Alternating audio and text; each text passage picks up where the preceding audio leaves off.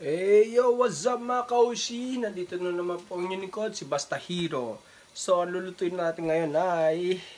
Chan chararan. Crab pasta, no? So, let's start. Ang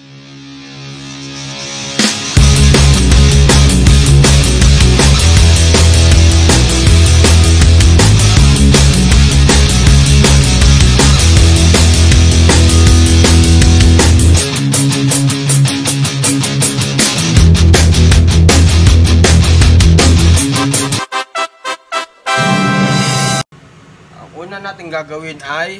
Opo! Galingan mo dyan ah! Ayoko mapapahiya ako! Kayo naman lo, wala na ba kayong tiwala sa akin? So, ito na nga. Ilagan na natin ang crab, no? Yan po ang pinaka-base ng ating pasta. Ang ating crab pasta, no? At ang ipang titimpla natin dito, simple lang. Luya. Bawang. At asin. Ayan mga koishi.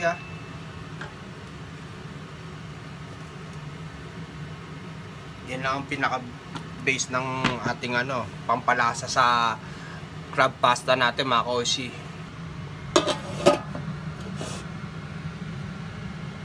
Time start now. At habang pinapakuluan natin, no, ang ating crab, gagawa tayo ng sauce natin ngayon, no, mga kaushi.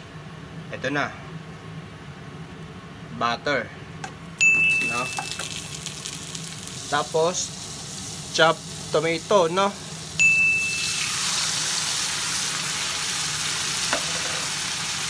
Sabay tomato sauce, no? Kailangan natin ng paminta.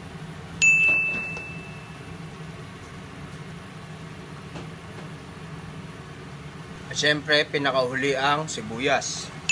At kung napansin nyo po, no, mga kaushi, hindi po natin ginisa ang sibuyas, no? Sinadya ko po yan. Isa pong tip yan para maging matamis-tamis ang ating sibuyas sa ating sauce, no? Mga kaushi. So, tandaan po yan. Ayan na. Ayan na po, tumunog na po, no? So, pwede na yung crab natin. So, pwede na to mga kaushi. Set aside na natin ngayon ng crab, no? Ayun, no? Bumuka na yung kanyang pinaka, ano. Ayun mga kaushi, magluluto na po tayo ng pasta. Dito rin po tayo magluluto ng pasta sa pinagpakuluan ng crab, no?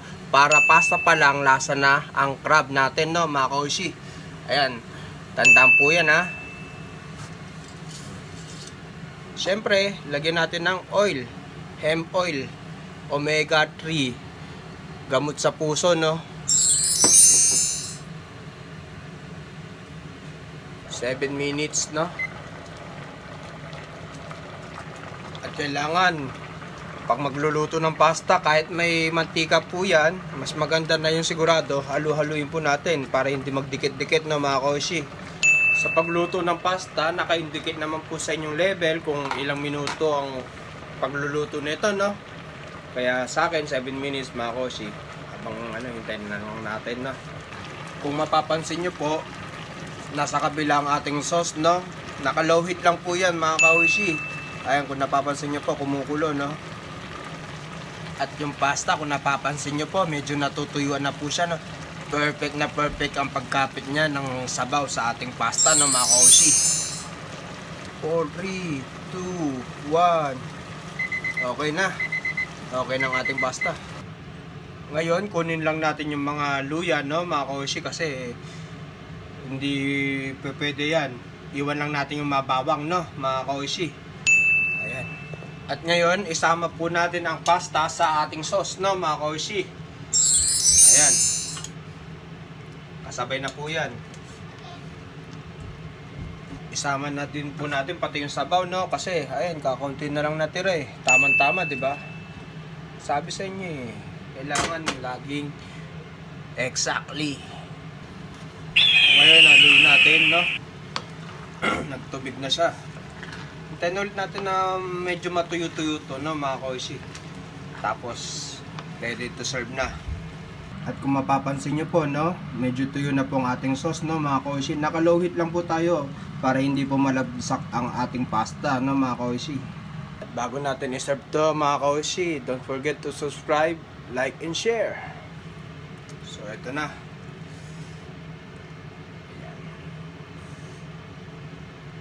At syempre, wag natin kakalimutan ang basil powder, no? Pwede pong basil powder, pwede pong yung paste, no?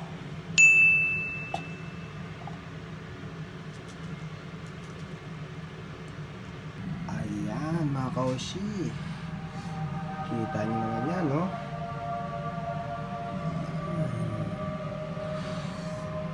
Looks pa lang yan, mga kaushi. Nakakatakam na. Ayun, ayan, oh.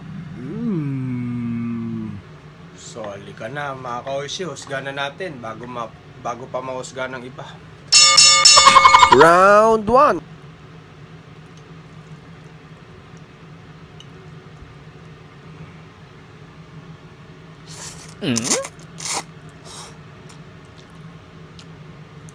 Wow, grabe.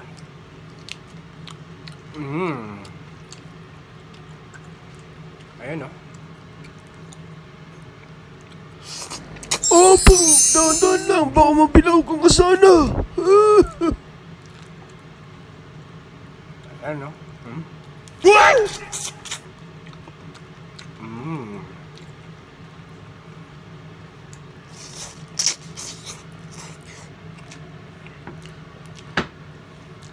So bago tayo magtapos mga kaushi, please don't forget to subscribe, like, and share. That's hero. Cooking is my passion, babush!